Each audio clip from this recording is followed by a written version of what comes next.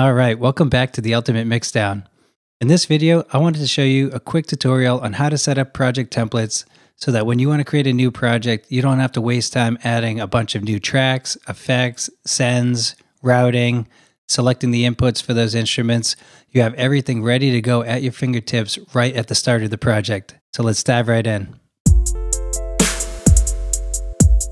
Now what I have here is a completely blank slate, so a brand new session and I'm going to add on tracks. I'm going to set up effects, inserts. I'm going to select my inputs for devices like my audio interface and my MIDI keyboard.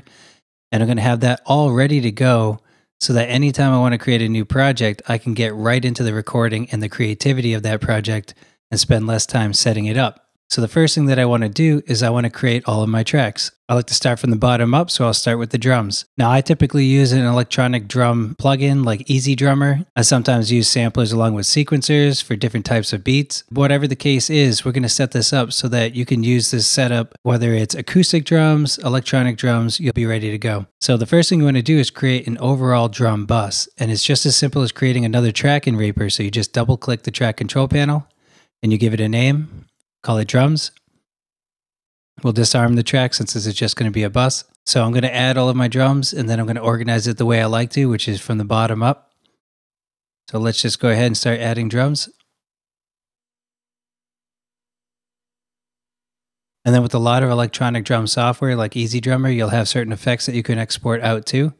So I'll add those effects here. We might not use them, especially if we're using an acoustic kit or if we're using a different type of software, but it's good to have just in case.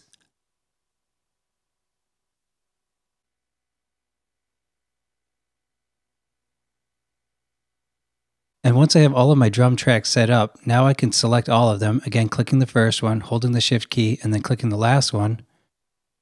And then I can click and drag these into the drum bus track, and then Reaper will actually indent these tracks under this drums track, and now we can effectively use this drum track as a bus to manipulate all of the individual tracks at the same time. So if we want to increase or decrease the volume of all the drums, we can use the volume slider. If we want to change the panning of all the drums, we can use the panning. You can also mute and solo all of the drums just by clicking these buttons. So it's very useful in the mixing process to have these organized this way. Now, if we're using some type of MIDI track for our drums, we're going to want to create that MIDI track. We'll keep it separate outside of the drum bus so that it's not being affected with what we're doing on the mixing of these drums. So I'll just head, um, you can either do EZdrummer if you're using EZdrummer, and if you're not using EZdrummer and you just want to have a MIDI drum track, you can just have a MIDI drum track. And what you'll do here is on the EZdrummer track, I would put EZdrummer. and on the MIDI drum track, I would put whatever sequencer and sampler that I'm going to use for my drums here. Have that all ready to go. And if I decide to use them, I'll make sure the routing is set up so that those drums get fed into these individual drum tracks. And then we can mix these together as we get further in the process. We're not going to get into the routing of the drums in this video. I'll show you some simple routing setup. But if you're interested in how to route EZdrummer or other types of drum software to the individual drum tracks themselves as audio sources, I have a separate video on how to do that, and I'll put a link in the description below. One great thing about the organization in Reaper is you can just select this arrow and it'll reduce the size of those tracks so you have it nice and organized and you don't have it cluttering up your session. And once we have the drums down, we're going to go ahead with the rest of the instruments in our template. So I want to have this as a full musical composition template for the type of music that I use. It might be different depending on the style that you're working with. It might be different depending on who you're working with, or how many instruments there are. But this is what I like to use, and this is a way to get me up and running quickly. The next thing I would do is add a bass track. So same way, double click the track control panel, give it a name, I'm just going to use one bass track. I'll put all of my effects on this track, so I don't need any type of routing or anything for the bass. So this is good to go as is for me. And then we're going to go into the guitars. So for guitars, I like to have at least two, maybe even four rhythm guitars. And then I also like to have at least two and then up to four lead guitars as well. So let's add our guitars track. And then I'm going to go and add my two rhythm guitars. And then I'm going to add my two leads as well. We'll take off the record arm and then with all of these tracks, we're going to select them. We're going to click and drag to the guitars track. And then again, it indents it, it adds it into the organization where this track is now manipulating all of these tracks together. And then we can also reduce the size again, clicking the arrow. And that just keeps it nice and organized. Now, one thing I wanted to point out, you might have noticed that my tracks are automatically color coded when I enter the track name into the title. I have a separate video on that using SWS extensions to auto color code your tracks. If you're interested in that, check out the video below. And then the next thing I want to do is add in my virtual pianos and my virtual synths. So I'm going to group those all together. So I'll just create one synths track. And then I like to have a couple synths and a couple pianos ready to go. So I'm going to set up two synths and then I like to add a couple of pianos as well. Okay. And then now that we have our synths and our pianos, let's get rid of the record arm again. We'll select them all and we'll drag them right into the synths and reduce the size, bring this to the top. And now we have everything but the vocals. So the last thing I want to do is add in the vocals where I have at least two lead vocals, two double vocals, and then four backing or harmony vocals. So I'll create my vocals track. And then here, I'm also going to have sub organization for the vocals. So I'm going to have my leads going to a lead bus, and I'm going to have my harmonies going to a harmony bus. And that just helps in the mixing process so that I'm not affecting all of my vocals the same because they're not all treated the same. So let's go ahead and do lead vocals. Okay, and I'll do lead vox 1 and lead vox 2. And the way that I'm going to do this is I'm going to take these two lead vocal tracks. This is where I'm going to record my audio. I'm going to click and drag these into the lead vocal sub bus. And then I'm going to take this lead vocals and I'm going to click and drag that into the vocal. So now my audio tracks for my vocals will be fed into a submix, and then that will be fed into the submix for the vocals. So let's do the same thing for doubles and harmonies. Okay, and then we'll take the record arm off of all of these. And then let's bring our individual tracks into their submixes. Then we'll take these and we'll bring them into the vocals track. So now you can see we have three levels here. We have the overall vocals, and then we have our double vox, harmonies, and lead vocals. And then from there, we have our individual tracks that we're actually recording our audio onto. And then we can minimize these as well for even more organization. Okay, and now we can drag this to the top and we'll have our vocals sitting right up top. So that's all the track setup for our template. And that took a lot of time. So you can see why you want to use a template instead of having to do this for every single project that you're working on. So once we have the tracks all set up, the next thing we want to do is have it automatically select our inputs. So instead of having to go into every single track and selecting input one on my audio interface or selecting my MIDI keyboard input for my synths, I want to have that all ready to go. So let's go into our individual tracks and you can actually set the input for multiple tracks just by clicking and then shift clicking and then selecting the input. So for all of my vocals, they're going to be coming in on input one, which is the default, but let's go ahead and do that anyway. So we just want to make sure, are these on input one? They are. So we're good to go. Now, the only thing I want to point out is we're going to be recording down here on our individual tracks, not on our submix tracks. Okay, so for synths and keys, we'll just shift and select through all of those, and then we're going to select the input of our MIDI controller or our MIDI piano. So I'll click input, I'll go to input MIDI, and I have my Korg R3 plugged in and turned on, and then I'll select all channels. So now if you look at all of these synths tracks, they should be set to that Korg MIDI device. And then if I record arm any one of these, you should see that there's an input signal coming in. You're not going to hear anything yet because we haven't added our synths or our pianos to these tracks. So right now it's not playing anything virtually, but you can see the input signal coming in. So for guitars and bass, I'm going to select input 2. I'll have my direct line input on input 2 which are where these electric guitars and bass are going to be coming in. So I'm going to go to input, mono, input 2.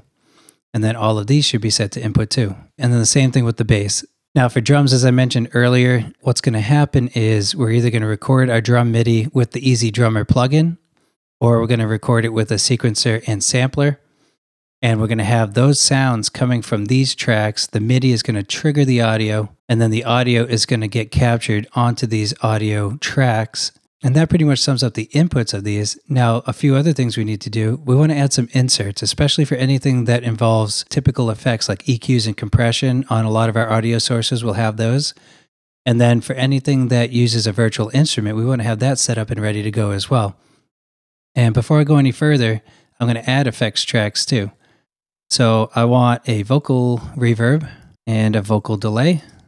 And I might even do two of these depending on the project. So it might not be a bad idea to set up two for each of those. And then guitars, I might have a guitar reverb, a guitar delay, and then I'll add a drum reverb as well. And then with this, what we can do is we can click on our insert for the effect.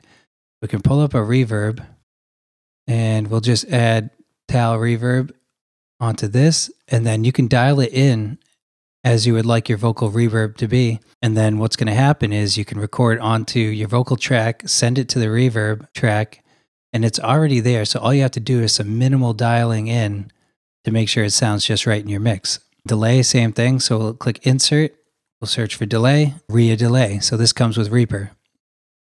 And then you can dial this in as necessary too. And you can do the same thing for the reverbs and delays for the guitar and the drums. And then all of your inserts will be set up and ready to go. Again, just with minimal tweaks where you need to adjust them when you're working with your projects. And now for our drums, in this case, I want to use a sampler and sequencer. So I'll insert and I'll do Sitala and I'll use this as my sampler. And it comes with a preloaded kick, but you can also change out the instruments or the kicks or drums or hits or whatever they are in the sampler. And I have another video on that. I'll put that in the link below as well. And then I'll also add a sequencer here so that I can build out a pattern in the sequencer and it'll trigger my drums. So let's go with the Mega Baby sequencer. And then that should come before the sampler so that it triggers the sampler. You could even have a basic pattern already set up and ready to go in the sequencer that you could build off of. And then for EZdrummer, we would just have EZdrummer here. So this is not a free plugin, but is a very useful one to adding drums, especially for things like rock or punk music or metal. Okay, so we have all of these inserts ready. And then let's go to some audio. And we know that we want to have certain audio effects on things like our vocals. So we can go into the vocal track, click on insert, and we can add compression because we're most likely going to compress every vocal that comes in. Okay, we'll just select a compressor on that you can dial it in as you typically would like to use your compressor. Then we can also go into the effects chain here and we can add an EQ too, because we're most likely going to EQ all of our vocals as well. So we have a compressor and an EQ. And then I can copy an effects chain from one track to another just by clicking here and dragging the inserts to the second track. And now both of these tracks have the same two plugins. And then I could do the same thing across all of my vocal tracks. The last thing I want to talk about is something like routing the tracks to effects tracks or effects buses. So if you know you're going to use something like a reverb on vocals in the majority of your projects, then you can have that all set up and ready in advance. So what we can do is we can take our reverb effect and bring it up here just so we can see it. And then we can route our vocals by clicking the routing and dragging it to the routing on the reverb effect. And then that creates the routing from the vocals to the reverb. And then you can adjust just how much you want going to that reverb just by adjusting the slider here. Now, one thing to point out is if you right click, they still go to the master fader, both of these tracks, which is, which is what you want in the case of an effects track. So you're going to have your dry vocals here, and then you're going to have your reverb vocals here. You can dial in just how much reverb you want in your reverb plugin. You can increase or reduce the amount of reverb using the volume slider on this track to mix it well and have it blend well with the rest of your mix. Um, but just keep that in mind when you're routing, it still keeps the master send. If you're routing anything to another track where you don't want it to also go to the master, so let me show you an example of this real quick.